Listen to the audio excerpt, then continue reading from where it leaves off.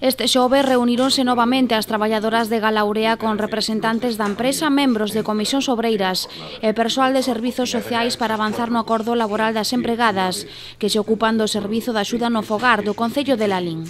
Tras dúas horas de xuntanza acordouse fixar a xornada laboral completa en 37 horas semanais, sen contemplar os desplazamentos ao lugar de traballo.